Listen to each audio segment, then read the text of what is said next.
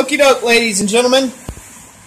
Here we are at the table. Sorry I had to raise my voice a little bit. Here in Ohio, it's decided to become monsoon season, so I had to raise my voice up from the previous clip. Sorry about that. But I'm going to try to, hopefully, you guys can hear me real well. I'm going to try to explain what we're doing today on the stem work.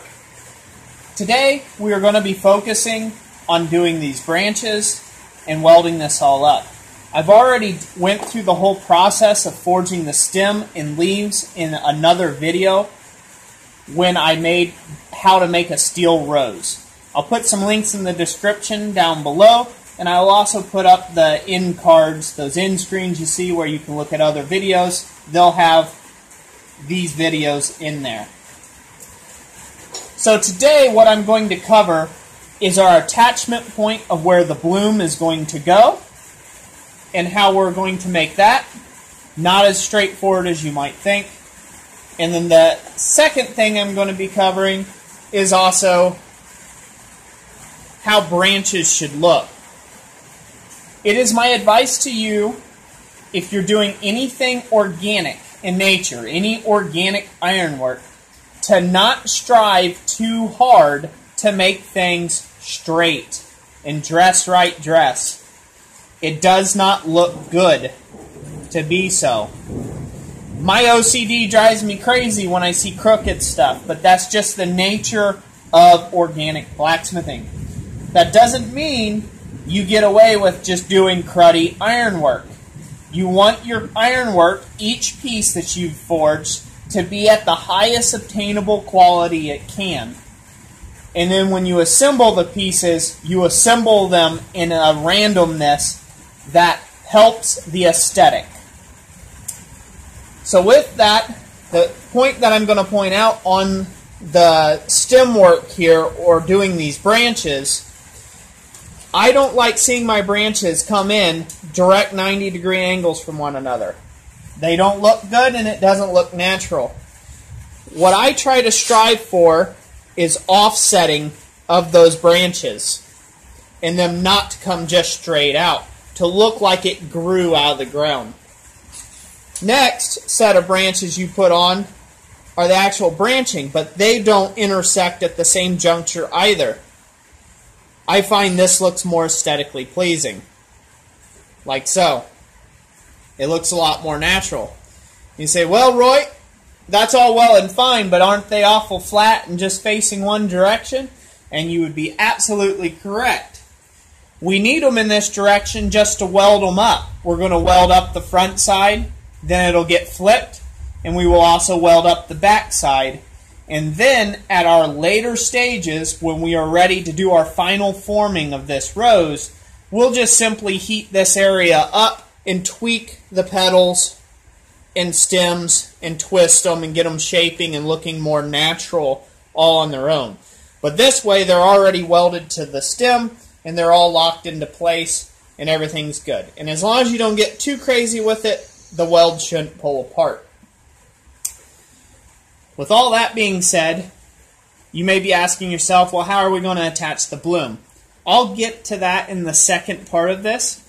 I'm going to do a real quick time lapse where I go ahead and weld these things up and get them all welded up.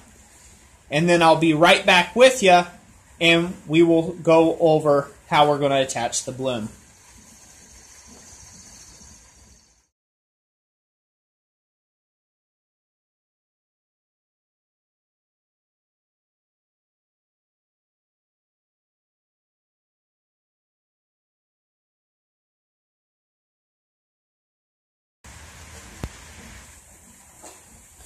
Okie doke, ladies and gents. There we go. We got this all welded up. So, I didn't take the cleaning up of this too far. And I didn't want to take it too far because I wanted to show you guys some stuff about this. About the transition work here. As you can see, I want this to look as natural as possible, so I didn't try to make perfectly straight beads. In fact, that's exactly the opposite that you want to take and do. You want to run, fill in some extra beads, and then sand them down and make them look like one unit. You want to give some different thicknesses. You don't want it to all be the same thickness because roses and stems and things of that nature don't have all the same thickness of vine no matter where you go. So that's something to keep in mind. Two, we want to take and clean this up enough that we can match the surface texture here with the rest of the forged character here. So you don't want to go immaculately clean with these branches. You do want to take it up. I'll take it up further than this, but you know, I'll take it up a lot cleaner than what you see here. I still got a lot of work in between all the joints, and I'll go over the vise and show you how I clean up most of that. But you want to leave it semi-rough because you've got texture here that's rough. You don't want this to be glass smooth. So that's something to keep in mind. When we go to the finish work of this, we will take and improve the finish of this piece a great deal just by reheating this entire thing and bringing it all up to one color, all one scale level, rescale all the areas that we have taken and ground on and things like that, and all this grind work and stuff will go away and it'll look like the piece was all one piece. And that's what we're going for. So the next step, I'll be over at the vise, and I'm going to show you some tricks to get into all these little nooks and crannies with just some simple hand tooling methods. I showed this in my other video on stem work, but I figure I'll just re-input it here, real, you know, just for a real quick explanation before we go on to the next part. And the next part is going to be to take and make our attachment system for the copper rose bloom itself. So I'll be over at the vise here in just a sec, and we will go ahead and clean this up. Okay, everyone, here we are at the vise. So, at the vise here, I had to do a little bit more cleanup with the grinder, with the angle grinder, get a few things cleaned up and stuff. If you don't have an angle grinder, you can do all that work with filing. I have done that in my past, but since I have an angle grinder now and some tools to help me along with this process, and this is a customer's order, so I have to get it out the door, I try to make things as simple as possible. So the trick I'm about to show you, I showed in my other video of making a rose, but it's essentially just a bit of P240 or 240 grit sandpaper. I take a length about 14 inches long or so, rip it off, just a roll of sandpaper, real thin weight sandpaper for the backing. And then I take and I tear lengthwise a strip off of that piece. And what this does is this gives me the flexible, the most flexible file in the entire world to get into all the little areas and clean it up. And you just simply have to watch your knuckles, but you can get in here and clean up some of your grinder marks just by a little bit of hand work. And it's these little touches that make your ironwork go the extra mile. So, I'm not going to show you this whole process and all that business. You guys can assume how the rest of this goes. I just wanted to show you that this is the way that I clean up in between joints and get into the little nooks and the crannies of the branches like so. And it does make a difference. It does make a difference to smooth that up and just not leave it rough. So that's what I do for cleaning up between the branch areas. I went in real depth in that in the other video, so like I said, I won't go over that today, but you guys can go take a look at that if you want to. So the next step will be over at the bench again, and I'll show you all what we're going to do for the attachment method on the bloom. Okay everyone, here we are back at the workbench. So, what, how are we going to attach all this copper to the stem? Well, we're, it's very simple.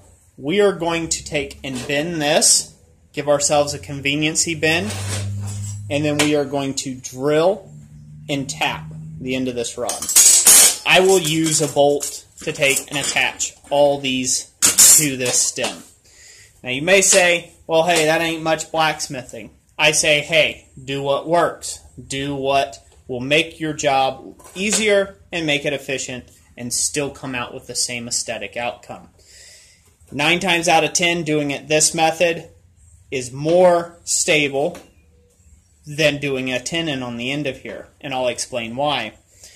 When you start tenoning this piece, the steel, since it's being a harder material, pressing against the sidewalls of the copper, which is a softer material. The copper moves out of the steel's way, and therefore the riveted joint never gets tight. So after all your riveting and all your hard work of making a perfect tenon on here and taking your time and peening it over just right, what happens? You've got a bloom that just wobbles and goes loose like that, and it's on your finished piece. And now you're like, okay, I've got to cut this off and try to draw another tenon which is a real pain in the butt. This is the simplest method I have found. Let me know in the comment section what you think of it, uh, or if you think you can do better.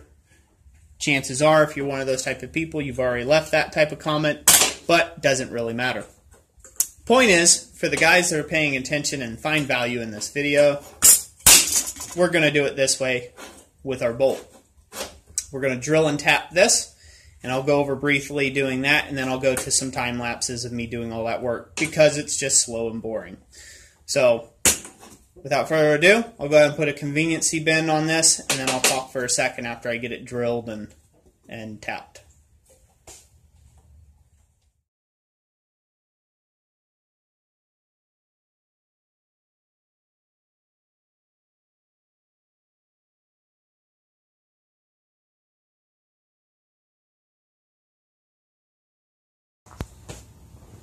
Okay, everyone.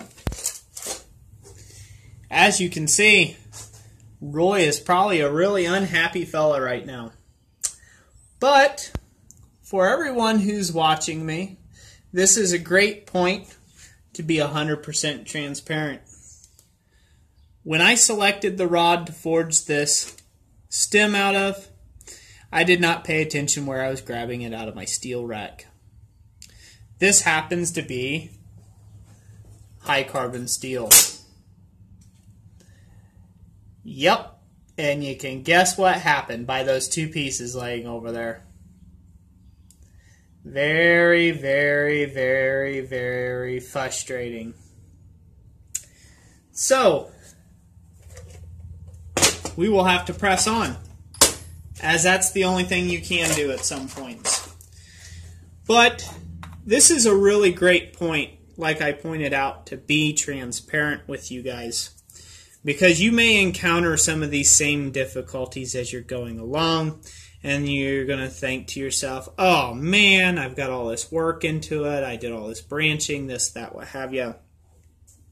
And you're going to just, well, for quite frankly, you're going to be really unhappy about this, uh, just like I am now, as this definitely puts me behind. But the teaching point here is is that we can still proceed further with this project even though that is not going to work out. So you say, well, how, how are you going to do that, Roy? Well, there's always mild steel rod out there, and I've always got a welder. Go figure. Ay, ay, ay. There's a way of fixing it we work with steel. There's always usually a way of fixing it. Unless you don't have a welder or if you don't have a way that you can fix these things back.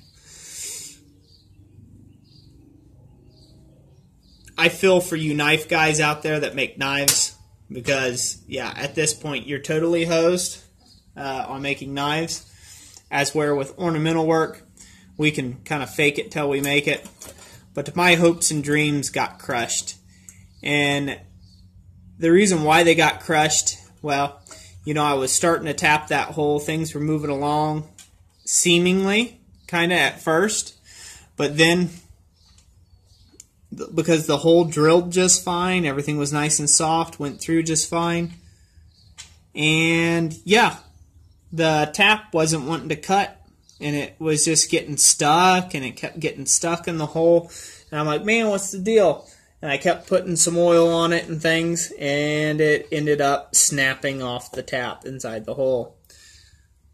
What I've done before in that instance is I've heated stuff up before to what would be kind of the critical temperature just above, and then cooled it slightly. And that's usually enough to break the tap up or fracture the tap. And then you can just tap on the outside edge of this, and the little pieces will just fall right out. Well, as I was attempting to do that, the whole thing fractured and broke apart. If this was mild steel, this would have never been the case. This wouldn't have been a problem. But clearly, this is not mild steel. So we press on. So the next step in this process, now that I've got this little bit of a derailment, I will go ahead and weld on a new piece and I will drill and tap the hole. I'm not going to make you guys watch that, and frankly, I'm a little disgusted right now, so I'm going to uh, call it quits on the filming of this portion. But we'll pick this whole little subject up again in part three of this series.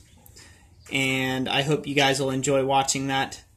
And we'll, you know, we'll go at it again. So hopefully you guys learned something from my failure today. But tomorrow's a new day. And it has enough troubles of its own. God bless you all. Thank you for watching. And stay tuned for part three.